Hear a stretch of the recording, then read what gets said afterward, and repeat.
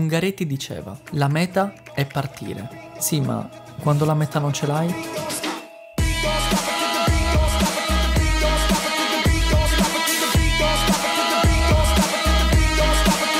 Stop! Dove andiamo? Teniamo una monetina?